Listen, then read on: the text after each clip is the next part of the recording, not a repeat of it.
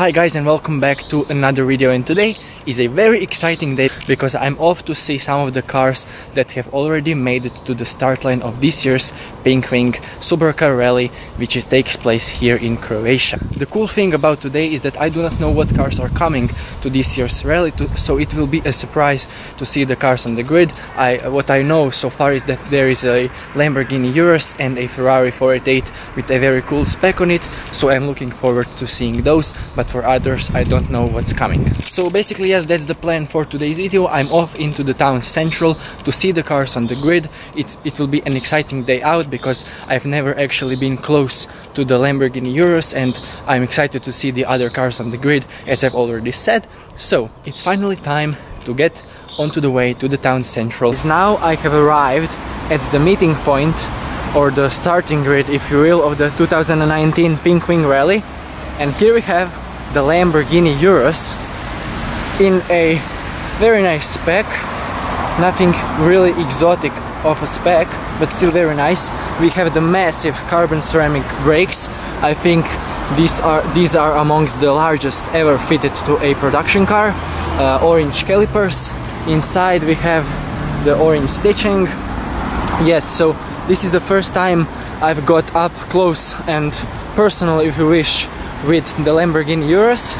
And I think that this car looks good, looks like a Lambo, it's, it is a special car, but still I kind of don't get the idea of a manufacturer like Lamborghini making an SUV, now Aston Martin and Ferrari will maybe make one, so obviously this type of car is to make company money so that they can develop the exotics like the Aventador, the Huracan and of course the limited edition cars as the Centenario and other special cars. So this is basically a money generator for Lamborghini. It is doing extremely well, it is selling well, so I, I see the point.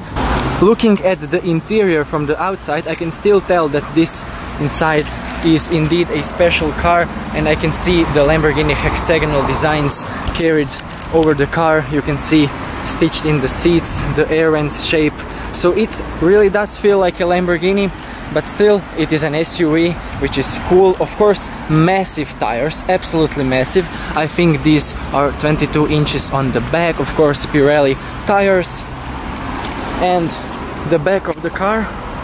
So when the Urus came out, I was really skeptical about the back because I didn't first like it in the pictures, but now I really do think that it makes sense, it looks aggressive, and some people have criticized that on the road people are able to see these bolts from the exhaust. And yes so some of the people say that this is not something that should be visible on a Lamborghini. I don't know. I really don't know what to think about it. But yes so this is the rear end of the car looks much better in person than it does in pictures I have to say that. And regarding the front end I mean it's looking absolutely phenomenal. We have the epsilon shaped headlights and when this came out the first thing I thought was wow what a stunning front end of a car this is.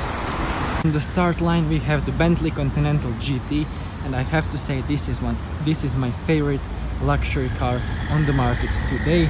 I will, I will always choose this over the Rolls-Royce simply because of the fact that I think the Bentley is a much sportier car but still remains an extreme luxury inside. So take a look at the interior. I mean this is just stunning. In my opinion the best interior on a luxury car on the market. Today we have the flipping display that can be a pile of wood analog dials or even a full navigation screen. So that is insanely cool. This is also a full blacked out spec.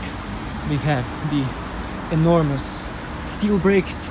These are in fact I think the largest steel brakes fitted to a production car. Maybe I'm wrong but I think I have heard this before. So it is a W12 inside absolute monster of an engine. This car produces an immaculate amount of torque which means it pulls effortlessly it goes like nothing so yeah all blacked out very nice with the contrasting cream leather interior.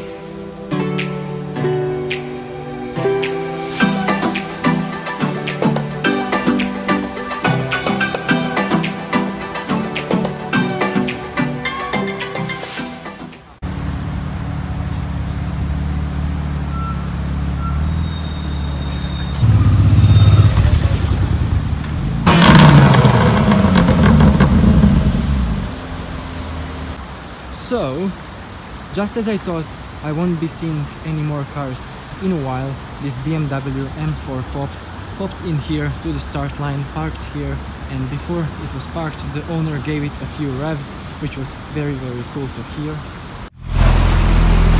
Also joining us here at the start line, the 911 Carrera S 991.2. Very nice car, sounds actually very good in person.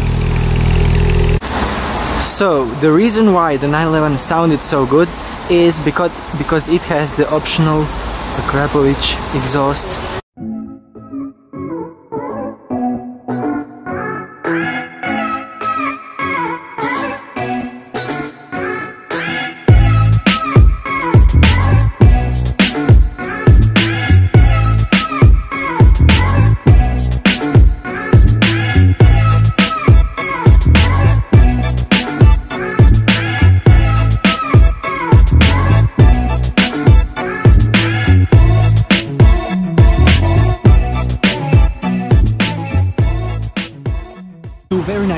nice We have the 488 GTB and the F430 Spider.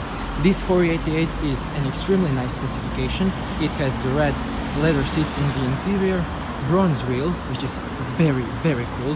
I am a big nerd for bronze wheels and absolutely love Ferraris with bronze wheels or gold wheels, however you want to call them. So this is definitely one of the best spec 488s I have ever seen. And here we have a rather unique F430 Spider which has yellow absolutely everywhere. And yeah this car has aged very very well. Still looks absolutely stunning in person as you would expect from a Ferrari. So let's hope we will hear the 488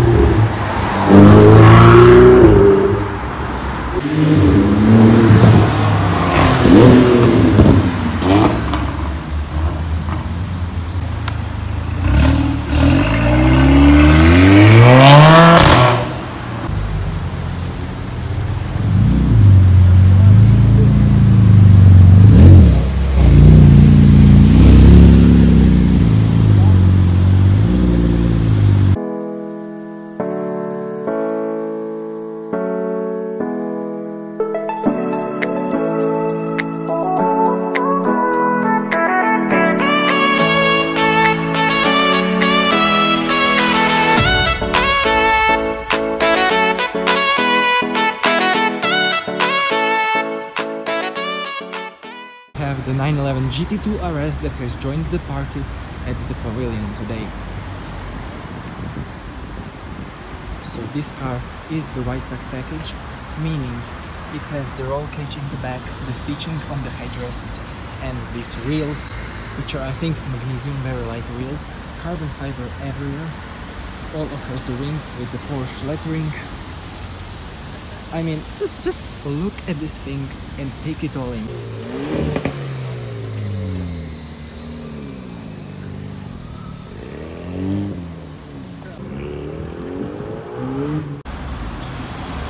So here we have the Mercedes-Benz G63 AMG. This is the new model and as you can tell this is a quite unique spec, all black with red details. So this is the edition 1 which is why it is spec like this. Very cool to see this, my first edition one spotted I, and I have to say this is an extremely cool car to look at and also the interior is stunning luxury and of course the side exiting exhausts of the V8 biturbo AMG motor. So I hope to get the startup now of the 458